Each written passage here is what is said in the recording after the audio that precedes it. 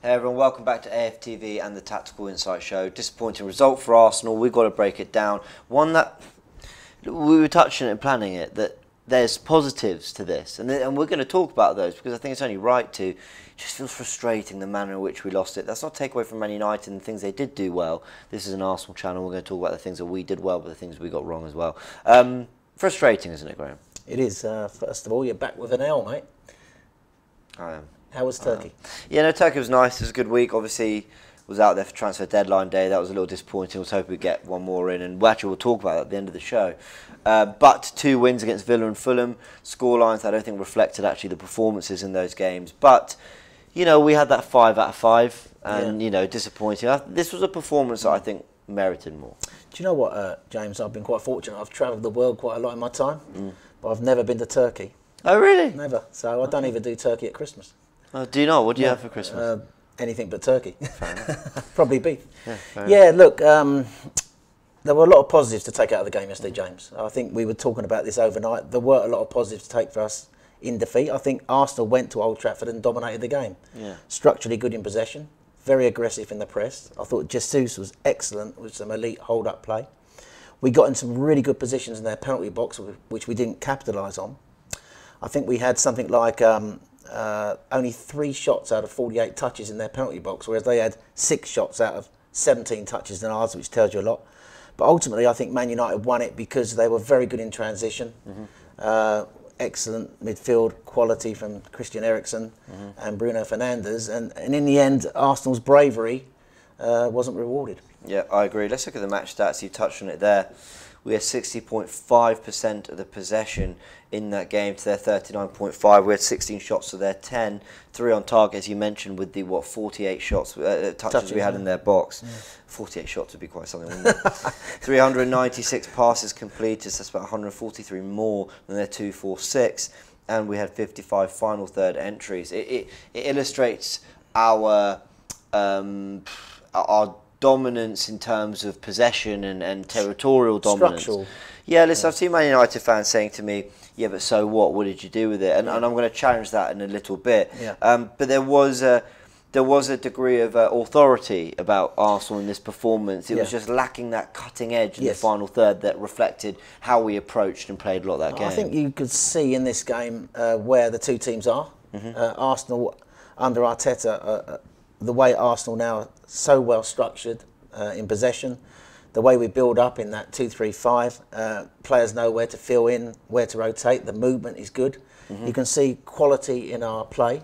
Uh, uh, um, whereas Man United, um, obviously more work in progress under their new manager, and I think he stuck to their strengths yesterday. He didn't want to go too much um, gung ho, so to speak. He wanted to play in transition, which is a bit like going back to the Ole Gunnar Solskjaer days, almost, wasn't it? And that's the way Yeah, they, it was, and, the way he used to play. So, you, you know, fair play. they were more sensible, I Yeah, think. and I I think that he, he won it yesterday, Ten Hag, because they defended better, Mm-hmm. uh, and also they took advantage, I think, of um, the fact that Fernandes was very good between the lines, and we didn't deal with that. Yeah. Um, I think when you play like we did yesterday, we were very aggressive in our press. We Mm. went man to man in our press. If that press becomes uncoordinated, that's your problem. Yeah. You know, and to be honest with you, for most of the game, the press worked really well. But three times we were caught. Yeah. People will question why at 1 1 we didn't sit in a bit more for Mm-hmm. 15 minutes. Uh, but ultimately, Arteta wanted to win the game, Mm-hmm. uh, and in the end, we got caught. Uh, and Man United are devastating on the counter attack with Rashford. Mm. Uh, and I thought that, that you know Eriksen obviously is offering them in that new hybrid six-eight role some, a new dimension, and we didn't deal with that well enough. Yep, I agree. Now, guys, forgive us for, you know, I know we're analysing a defeat here, but we do have to big up production because they've done some amazing work, you know, with the set and the tactical pad here. We're going to go to the tactical pad now and discuss a few other things in terms of touches we had, shots we had, the shape. Look at Man United's goal, so let's have a little look at that now.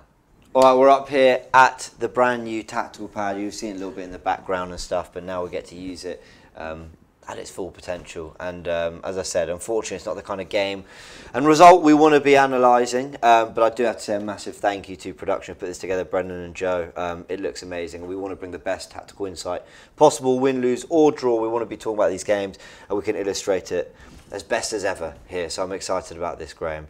Um, let's talk first. We're going to talk about shape in a sec. The first thing I really want to touch on, though, is if we just get it up here. There are going to be teething issues. Um, our Arsenal shots. I want to have a little look at some of the areas we had our shots and we got them here. Now, I heard from a lot of United fans saying, well, how many clear cut chances did you have? And a lot of my argument back was, well, how many do you want teams to be having at Old Trafford? You know, you guys are on the up. You, you, you had three wins in a row before then, two clean sheets before. This is Old Trafford. You've got a multi million pound defence.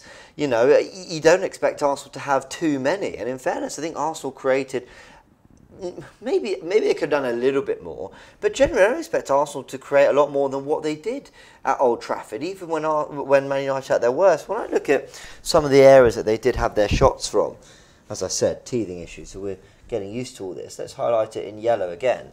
Some of the areas we got our shots. I think this is the Saliba one that you know he kind of panics and skies. Then you've got okay, this is the Saka goal, fair play, he scores. Then you've got the Odegaard one where it's cut back to him and he absolutely shanks it. You've got Bukayo Saka's shot. That is one of those where kind of anyone, you get a touch, it might go in. You've got the Martinelli header. Okay, fair enough. I mean, De Gea should always deal with that. But look at all these kind of moments in the areas. You're thinking, how many? I know what I know what people are saying. We didn't roll it and put it on a plate and force De Gea to make loads and loads of saves. But there are a lot of areas there that Arsenal were able to get shots away, and that doesn't even look at the crosses and the good areas we've got into. I just don't think you could have expected Arsenal to do a lot, lot more than what they did. Really. I think the only thing I would say about it, James, is uh, we did work our way into their box quite a lot. Mm-hmm. Is I don't think we showed the composure in these big. That's moments. absolutely true. In, in, the big moments when we got in good positions, mm-hmm. whether and when you're in these big games, you don't need to rush these sort of situations. And I think we were guilty of that yesterday. Say, by the way, this comes from StatZone iOS app, so go check them out as well for you know good data and stats around that. This is their graphic. Um, let's talk about shape now. I know this is something you really wanted to go into, Graham, um, because with Sambi Lokonga, maybe we adjusted a little yeah. too much to the fact that we didn't have Partey on any there. Is that fair? Um, possibly. Yeah. I think one of the secrets this year has been Granit Xhaka mm-hmm. up here. Yeah, box to box, box getting box. forward. Yeah. Up here. So that's where he's been most of this season, doing a lot of good work.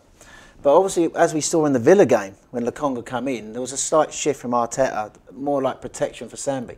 Mm-hmm. Uh, Odegaard drifting around here. Jesus coming back. They're obviously going forward as well. Yeah. But that, that, that is how we built up. We got Saliba and Gabriel. You got Zinchenko and White tucking into midfield. Mm-hmm. Uh, and Xhaka possibly playing as like a hybrid role up there, but coming back to assist Sambi. That was like our build-up shape. Two three. It still is in effect a two three five. It's very fluid. Arsenal very fluid with their movements. Uh, and this is the way we set up on the ball, I think, when we had the ball, James. When going into this game, okay, we knew we were missing Partey and any, and we, we had some other injury issues, but in fairness, Ramsdale, Odegaard, Zinchenko, they all came through. But we worried a little bit about a lack of depth. I mean, fair enough, Smith Rowe and Vieira came on, but Lokonga, who, as you, would heard, that he was meant to be playing as more of an eight, he's playing in a six. No, I, would said to you, I think Arsenal plan to use him more of as an eight this season. Yeah, yeah, yeah. And I heard that from Gunnerblog, yeah. James McNicholas yesterday. So, uh, so I, I, obviously he's a lot more knowledgeable on this than me. Uh, but I think they are at the moment having to use him at six for two reasons. One, Thomas Partey has picked up an injury. Mm-hmm. Uh, you know, and he would have been. I think had Partey played yesterday, I think we would have been better off the ball because I think Sambi is great on the ball, not so good off the ball. Mm-hmm. But I thought he took a lot of very harsh criticism yesterday uh, which I thought was a bit unfair, which we're going to talk about. Mm-hmm. But um, I think Arsenal also had that option of trying to fill that position. Uh, yeah. Uh, you know, in the transfer window, they did try and get Douglas Luiz in. Luiz in. Yeah. So that tells me Arteta wanted someone at six when Partey's not there, uh, and of course El Elneny was injured as well. So. Um, look, I, I, think six is going to be a problem for us in these big games. Can Sambi play six in the big games? And I think yesterday, on the evidence that we saw yesterday, he did struggle off the ball. It is frustrating Position. though. It is frustrating because I want to show some guys something. I was going to leave it till later in the show, but it's on topics. so let's do it now. Here's my squad. Now, at the very beginning of the summer, we discussed the players that we wanted to see Arsenal bring in, and I saved this because I wanted to go back to it. Now, I got a lot of what I wanted. I got Jesus, I got Zinchenko. In fact, let's in green highlight what I did get. I wanted Jesus, I wanted Zinchenko, but I saw him as more of a midfielder. Um, I wanted another creative midfielder, so we'll show that in yellow. We didn't get Maddison, but we got Vieira. Um, and then we didn't get that kind of other forward. Now, that was the other player I sort of wanted, was another forward that could help. But I also look at the amount of players that we've let go. Pepe, Tavares as well. I've got Norton Cuffy, okay, he's gone alone, probably wouldn't have played a big part. The point I'm trying to make is, I just feel like we left ourselves quite short, and we foresaw the need for potential more players. And it wasn't just me, it was you as well. And I think your, the, you know, the players you wanted illustrate it even more, because I, rem- I looked back at yours, and I'm going to show them in red again, because we didn't get them. Here we are, where's the red? You wanted another holding midfielder, and you wanted another player that is with Zinchenko coming in as well. Tielemans and Bissouma you mentioned. Is it not a bit frustrating that we knew that we needed Yep. more in midfield, Yep. and it feels harsh to be bla- not blaming, but putting responsibility on Sambi when we see that he's clearly meant to be used as more of an eight this year. Yeah, and uh, me and you have talked about this quite a lot over the last six months. The need to have someone who can replicate what Thomas Partey does. Uh, I liked Bissouma, Mm-hmm. and he's, he's gone to uh, the rivals down the road. Mm-hmm. Um, but I think, it, or a player like Bissouma, who could come in and do what Thomas Partey does. Yeah. Uh, and, and I think someone who's physical, uh, who offers us that, that probably Sambi is not. Sambi's a great technician, great on the ball, Mm-hmm. uh, but he's not like we call a, a, a bona fide physical number six, is he? Uh, like what Partey is. So we, we haven't, and, and even Elneny, I would say, is not quite uh, at the Partey level, although he, he is a steady player and sen- you know more steady in that role and positionally certainly. But yeah, we, we foresaw this, didn't we? And, and, and I wanted a player like that. Somebody, I mean, we Partey has only played 58% of Premier League games since he's been at Arsenal. He's only played nine consecutive Premier League games. We are building our centre midfield around a guy who's barely fit. So knowing that, you'd think that, uh, uh, you know, go out and get somebody who's as physically dominating as he is, Bissouma or someone else. And they've had plenty of time to look at it, but they haven't chose to do it. This is exactly why we did this at the beginning of summer, Yeah. so that we could then. It's everyone says, "Well, hindsight's super easy." Yeah, sure, no, but we tried to talk about this back then. But listen, that's all the complaining I'll do on the Arsenal front in terms of that. Let's look at the Man United first goal, um, and we've got it right here. Um, so I've actually recreated this, as painful as it was, but there was a little bit of. Um, Listen, we were pressing, and where Man United do well is originally they have the ball with Antony and they recycle it. Martinez goes all the way back to the goalkeeper, and then they go again. And they find themselves in this position. Now, they've done what Arsenal have done really well to teams, which is pull them all the way back so that they open up and then attack them when the space is open. And this is what is really, really frustrating is that Eriksen's got the ball here, but look at where the midfield is. Let's highlight them in yellow. Odegaard's gone out to press. Lokonga's come forward, and it feels like Xhaka never quite. I'm not necessarily blaming him. I think it's a, it's a, the whole thing's a bit dysfunctional. He never quite just gets a hold of this area of the pitch, which I think is what you've got to do when Lokonga has come to press. This is where I will say hindsight is wonderful, but that's a little frustrating. It just felt that that ball into Bruno Fernandes, which we see here, is just a little it's just a little too easy, isn't it? As you said, the ball from Eriksen into Bruno, and then you're right. Gabriel, Gabriel needed to be tighter there. Yeah. Once once Lokonga's engaged and gone up to Eriksen, Gabriel's got to come out and press Fernandes. He doesn't get there quick enough. Fernandes is on the ball. By the time he gets there now, he's in that space where he can hurt us. They've got now their four players up high, what they wanted, four against four. Uh, but he's free to receive the ball. Uh, and Sancho's now going to come in off the wing. yeah, It's going to go out to Sancho. And the moment he goes to Sancho, he's driving in now, and we we've got problems now because Rashford gets it and plays in Antony. Zinchenko has to come across because uh, Saliba's on the wrong side, Yeah. and Antony puts it away with his left foot. I think he gave Ramsdale the eyes. I Yeah. think Ramsdale thinks he's going near post, goes down very early for me, and that, that makes him uh, able to sweep it into that far corner. yeah, really Disappointing it's a frus- goal to concede. It is a frustrating. And the thing is, it was against the, it was against the run of play because although It they was. started very well for 10 minutes. Arsenal had been dominating up to that oh, goal. know. And that's, that was so infuriating about it. Second goal is against Ronald Play again. We haven't recreated it, but what we've got is the position where everyone is. Now, forgive me, guys, it was very hard watching the highlights trying to pick out whether it was Xhaka or Martinelli. They might be the other way around, but the point is, Lokonga's lost the ball in this area of the pitch, and what you've got is just a quick one, two, and Rashford's in. It's just like, ah. It's very disappointing for Lokonga to give the ball away there, and I felt in possession largely he was he was pretty good for most of the game. That felt that's where with the word naivety I think absolutely fits because you've just equalised, you're in a good spot in the game. Arsenal didn't need to force anything, and he tries to play a pass. I understand it's high risk, high reward, and I've always defended Arsenal players for playing passes that don't look like they're necessarily on, but it was it, that was the one moment I think oh, that's otherwise I thought Lokonga had a decent game and I think people were being a bit too harsh. He completed 38 of his 42 passes. Sambi. He, he was decent on the ball. Yeah, he was And people yeah. question him off the ball. I think what you got to remember is we, we pressed literally man to man most of that game. So he was following instructions. So if he vacated his midfield position, I think it was on the instructions Well- well, what the also- team were trying to do. And when he does that, you want somebody to drop into the space. Well, also off the ball, you know, I, I think we limited Man United to maybe four good chances across the Yeah. whole game. They scored from three of them. So, you know, I understand they scored three goals. I understand that it looks messy, but off the ball for a lot of the game, we did our jobs pretty well. So it's frustrating, guys. We're going to look at some of the other numbers, but um, yeah, been good to discuss this on the tactical pad. Let's talk about some of our better players.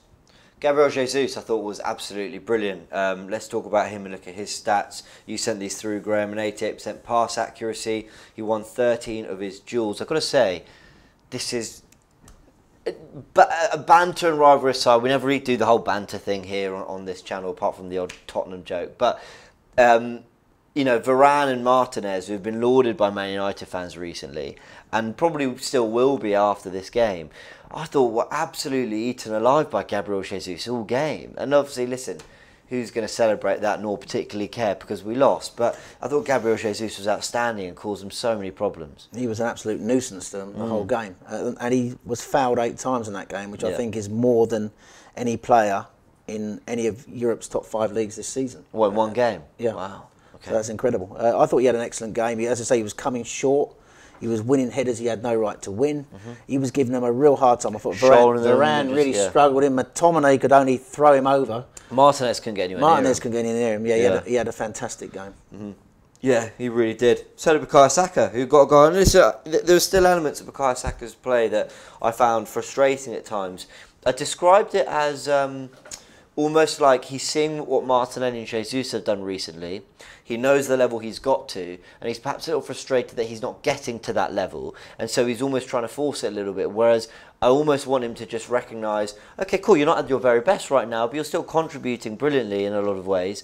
Um, and, and, and you know just ease yourself into it. And I think at times we saw his brilliance. You know, getting around Malacia a couple times and some lovely turns where I thought he looked very good. Um, but he gets his goal, and I think also that I, thought, we he, were, I thought he had Malacia on toast, to be honest. Well, I think he did Malacia is a good game. defender. As Yeah, well. yeah. He is a good defender. And, I, and I, look, last week I did say that I didn't think he's quite back at his best yet, Mm-hmm. but I still think this game he was even better than he was last week. For Yeah, what yeah. you say, I thought he holds on to the ball really well. Uh, If we look like he never loses the ball, yeah. does he? He never loses No, the he's strong, yeah. And he's strong. Whenever he gets the ball, he's doubled up on all the time.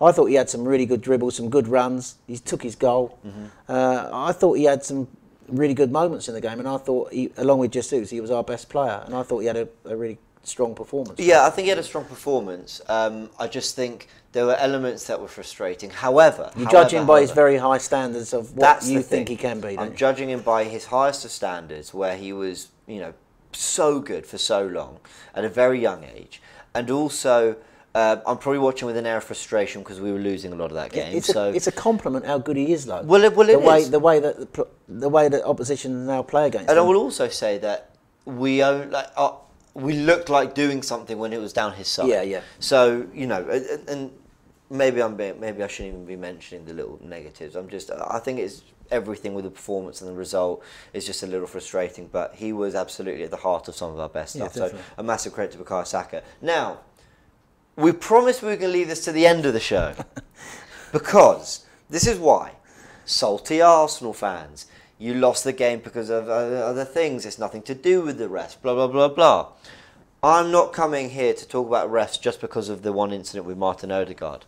I'm here to talk about the refs because of the ridiculous decisions that we continue to see.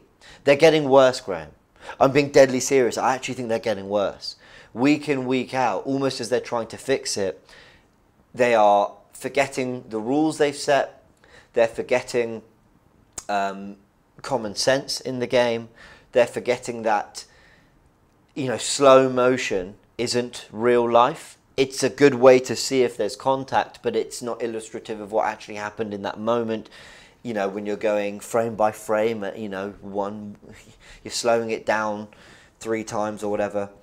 Here's a quote from Mike Riley. This came out in 2021, I believe. This was talking about um, the leniency that they want to show in the game. He said, fundamentally, we want the approach to be one that best allows a player to express themselves, that allows the Premier League game to flow, and means that the team of referees and VAR don't intervene in trivial offences. Let's create a free flowing game where the threshold for intervention, both as referees and VAR, is slightly higher than it was last season.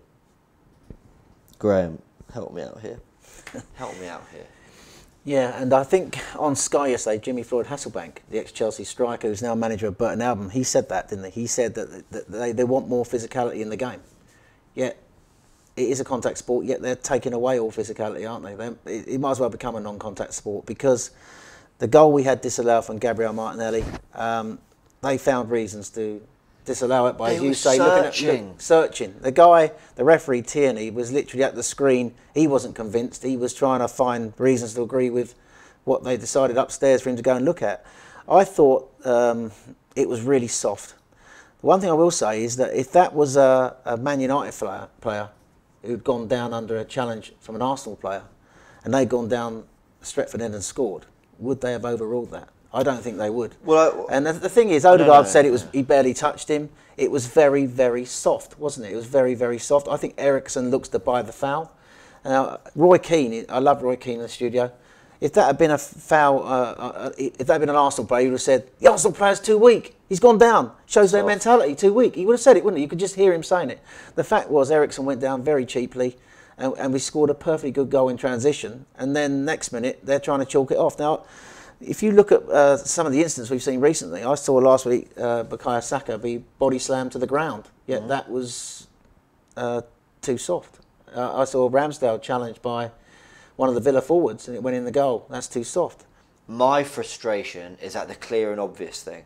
My frustration is that they looked at Bowen on Mendy and they looked at Odegaard on Eriksen and they decided that that was a clear and obvious error in game and that they should disallow the goals because of it. And it's so inconsistent with what we've seen. As you mentioned, Bukayo Saka, he's pulled to the ground by Mings. There's far more there's far more contact on that than there is. I know people say, yeah, but it's different referees and it's different VAR and all that, and and it's different games. I get it, but they're meant to be consistent, and so frequently we see complete inconsistencies. Now, I'm of the opinion that Martin Odegaard, sure, there's a little bit of a hand, there's a little bit of a push, there's a little bit of a leg sort of hitting Eriksen's leg.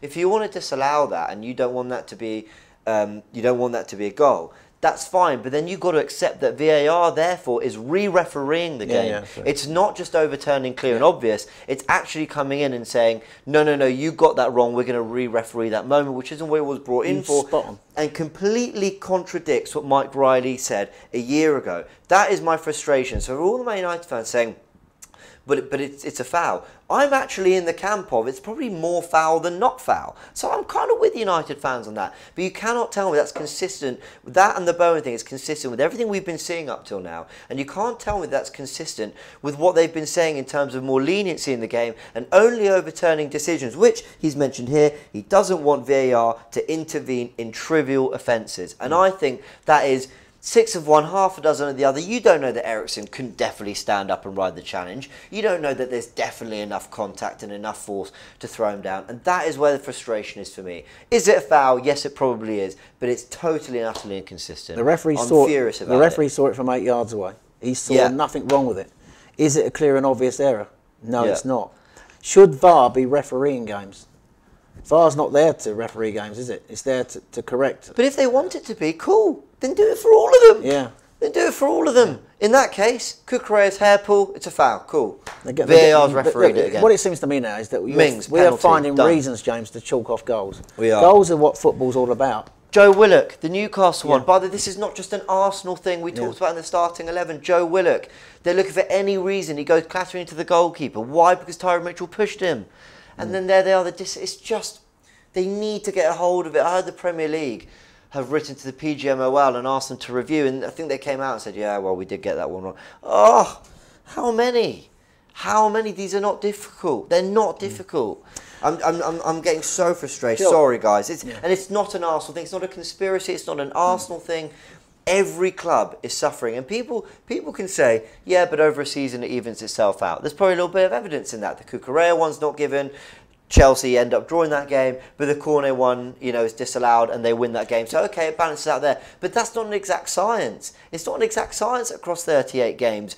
Everything definitely evens out. There's going to be a couple points gained and lost here and there, and that can be crucial because the level of the Premier League, those couple points make a massive difference. They've got to start getting more of those right. There can be errors, but they, they, they can't be this frequent, these errors. Do you know what? I, I was a big one who wanted VAR in.